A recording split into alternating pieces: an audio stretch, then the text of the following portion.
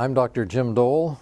I'm a professor emeritus at this university. In other words, I've been around here for a long time. Professor emeritus, by the way, if it doesn't mean anything to you, simply means that I'm a retired professor.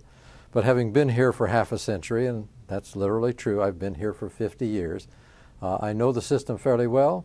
I understand pretty well what mistakes students make.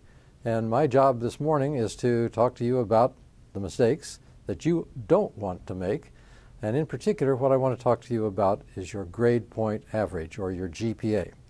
This is extremely important because your GPA, whatever you graduate with, will follow you for the rest of your life. If, for example, you apply for a job, your GPA will probably be one of the first things your prospective employer will ask about. If you're applying for a graduate program, certainly your GPA will make a difference in whether you get accepted or not. On the other hand, if you're thinking about going into one of the medical professions, one of the healthcare professions, medicine, dentistry, pharmacy, anything of that sort, your GPA can make all the difference in the world. If you have a high enough GPA, you'll be considered. If you don't, they'll simply not even look at the rest of your application. So it's really important that you have a high GPA. And what I want to do is talk about that GPA and several different aspects of it. For example, such things as how your GPA is calculated. It's a fairly straightforward sort of thing, but it's something you need to understand. I'm also going to talk about your three GPAs. That's right, you've got three. I'm going to talk about why improving your GPA gets more and more difficult as you progress towards your degree. This is just a mathematical fact, but you need to know that. I also want to talk about the fact that repeating a course can affect your GPA, not necessarily for the good. It depends on how you work at it. I'll explain that in a minute. And I'm also going to point out how failure to follow certain rules, in particular the rules for withdrawing from a class, can make a difference in your GPA. Sometimes a profound, but not welcome, difference. Let me start by talking about how you calculate your GPA. I've given you the formula for it. You'll notice it's simply the number of units for a particular course times the grade points that you've earned for the letter grade that you earned in that course. You sum all of those for all of your classes and divide it by the sum of all of the units. But you first have to know that here at Northridge, there is a ability to have an A minus or a B minus or a C plus or any of those things with a plus or a minus after the letter grade, and they come up with different values. For example, if you get a minus after the letter grade, the point value will be 3 tenths of a point less than the letter grade itself. If you have a plus after it, it's 3 tenths of a point more than the letter grade itself. So you can see on this chart uh, the standard values for each of those letter grades. Let me just give you an example of one particular hypothetical student so we can calculate the GPA. You'll notice, for example, this particular student took Biology 106 and earned an A. The A is worth four points. The course itself is worth three units, so 3 times 4 gives you 12. We put that in the far right column. This person also took Biology 106 Lab, which is a one unit course, but in that course he earned an A minus. An A minus is worth 3.7, so you multiply the 3.7 times the one unit, you get 3.7 in the far right column. This person also completed Chemistry 100, earned a C. A C is worth two points. Uh, the course itself is worth three units, so three times two gives you six in the far right column. Then you simply sum the far right column for 21.7 and divide that by the seven units. And this person then has a value, a GPA value of 3.1. Now, that's fairly straightforward and fairly easy to do, and there are actually some um, spreadsheets available online, or you can create your own that will allow you to do it. It doesn't take a lot of work. But what I want you to know also is that you have three GPAs, as I said, and each one is important. The first GPA is one we call the overall GPA, and this grade point average is based entirely upon all of the courses you've taken, whether they were taken here or at any other institution of higher learning. In other words, if you took courses at a community college and you put them on your record here, they will be included in this GPA, as well as all the courses that you take at Cal State Northridge. The second GPA includes just those courses taken here at Northridge, no others. But all of the courses taken here for which you earned a letter grade will be included in your GPA here. The third GPA is the one that most people don't know anything about, but it's critical and, and can make a big difference, and that is what we call the upper division major GPA. And all that means is that you have a third GPA based entirely upon the courses that you have taken at the upper division level, meaning 300 or above, and are in the major, in the biology major. So you've got three GPAs. But what you also need to know is that in order to graduate, you have to have a 2.0 GPA in all three of them. Not just one. Every single one of those GPAs requires a 2.0 or better, hopefully a whole lot better, in order to graduate. Okay, what I'd like to do at this point is to demonstrate what happens uh, to a GPA, a person's GPA, when he or she takes four unit class and earns an A in that class. And I'm going to deal with the person starting when he's a freshman. At this point, let's say he has 10 units earned. Uh, since he has a 3.0, that means he's earned 30 points, has 10 units, which is where he, where he gets the 3.0. But let's say he earned four units of A and what does that do to his GPA? It changes it from a 3.0 to a 3.28. That's a significant change. That's a very big change and a very welcome change. But what I want you to see is what happens to that same individual when he's a junior. What effect does that same four unit course have? Let's assume now that he's starting his junior year with 60 units with a 3.0. That means he has 180 points, 60 units earned, gives him the 3.0. Now let's assume this person takes a four unit class and earns an A. What does that do to his GPA? And the answer is it raises it from a 3.0 to a 3.06. Not a very big jump.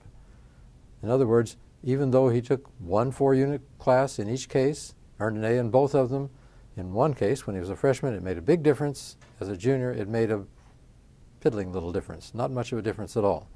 And the reason for that is simple mathematics. It's simply that when you are a freshman and you add, let's say, four units to all the units you've already completed, that four units is a big portion of the units you have. If you add four units to the 10 that you already have, that four of the 14 is going to be a large number, large proportion, and it will affect your GPA calculations accordingly. On the other hand, when you're a junior and you add four units to the 60 units you already have, now you have 64 units. The 4 is a very small, much smaller proportion of the 64. And as a consequence, it has a much smaller effect on your GPA.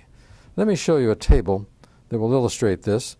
Uh, again, I've taken, created this table assuming the student has a 3.0, and I've taken it from a freshman year when he has, let's say, 10 units, all the way up to when that person is near graduation with 120 units. And you'll notice, for example, as we've seen that as a freshman, that four unit class with A's got him from a 3.0 to a 3.28. As a junior, from a 3.0 to a 3.06. As a graduating senior, that same four units would move him from a 3.0 to a 3.03, a very tiny fraction of a change. Now, just to show you uh, how this works, again, I'm going to choose to illustrate it with 12 units of courses worth A's, and you can see that it makes a big difference for the freshman going from a 3.0 to a 3.54, but a very small difference for a graduating senior, from a 3.0 to a 3.09. In other words, the longer you're here and the more units you accumulate, the harder it is to change your GPA. And I mention this because I've actually had students come to me uh, and tell me that uh, they are a changed person. For example, it's, the story usually goes something like this. Uh, I've I'm starting my junior year. I've not done very well. I've maybe made a C average, uh, but I really want to make it to medical school. I'm going to work really hard in the next two years. I'm going to earn all A's and I'm going to make it to medical school. I'm going to get my GPA up high enough that I can do that. Well, the point of this is that that's not really possible. Let me explain. First of all, you would probably understand that the probability of a student who was a straight C student or a C average student for two years is not suddenly likely to become a straight A student. But even if we assume that he did become a straight A student, his GPA would go from a 2.0 to a 3.0, which is a nice increase. That's certainly worthy, but it's not enough to get into medical school. Now, You need to also know something about repeating classes because this too can influence your grade point average if uh, you do some things incorrectly. Uh, university rules permit you to repeat up to 16 units of classwork for what is commonly called grade forgiveness. But don't misunderstand this. This does not mean that your earlier grade is somehow painted out and a new grade is placed on in place of it. That doesn't happen. What happens is that both grades remain on your record, but the newest grade, presumably the higher grade, is the one used in calculating your GPA. That's important to know. Now, you can do that for 16 units, but you have to understand also that you only get uh, grade forgiveness if you repeat the same course at the same institution and only for the first 16 units. Now, you can repeat courses beyond the 16 units, but if you do, and you can only go to 28, then that from after the 16 units, what happens is that both of the grades are included in your calculations of your GPA. For example, uh, if you repeated a class in which you earned an F and got a C, both of those grades will be included in calculating your GPA, and that's the equivalent of earning a D. Or if you had an F the first time and then you repeated it and got an A, both of those grades would be included in your calculation of a GPA, and that's the equivalent of earning a C. Okay, the point is you have to be really careful about this.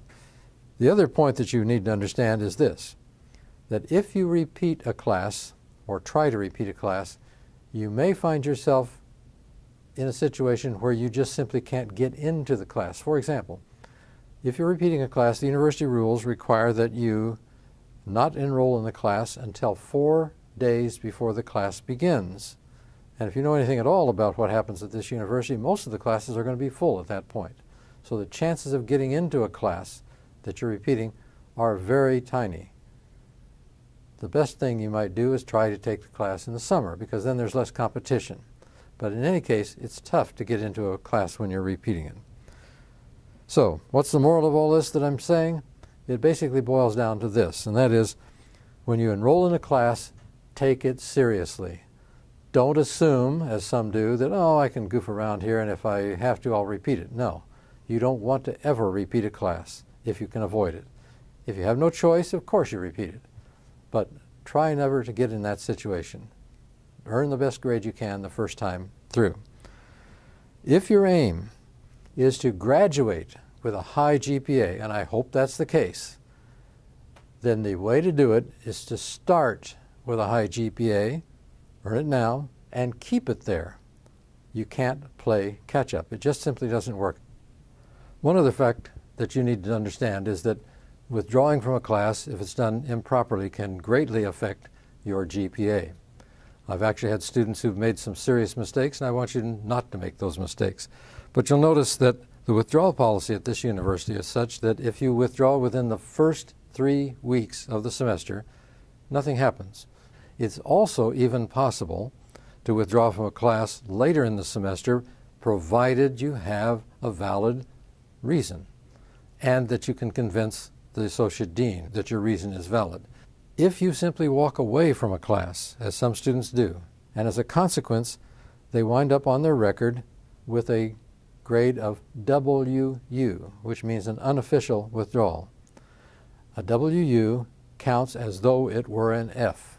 In other words, if you have a WU on there, it gives you no point value, but counts as whatever number of units you should have earned. And that will affect your GPA negatively. I even had a student who walked away not from just one class, but from a whole semester of classes. He came to me just a few months ago and was asking me, What do I do at this point? And I looked at his record, saw 16 units of WU, or, from the point of view of the GPA, 16 units of F. And he wanted to know, What does he do? And the only thing I could tell him is, You've dug yourself into one heck of a big hole, and the only way out is to work really hard in the future, earn high grades in all the rest of the classes, and gradually get your GPA up to an acceptable level. It was down below 2.0 at that point. Getting it up to a 2.0 will be a struggle, but it can be done. But please, don't get yourself in that situation. And I highly recommend that you always, if you have to withdraw from a class, do it officially. Don't walk away. If you have any other questions, give me a call. I'm, at, I'm available at the Advisement Center, or better yet, stop by and talk to me.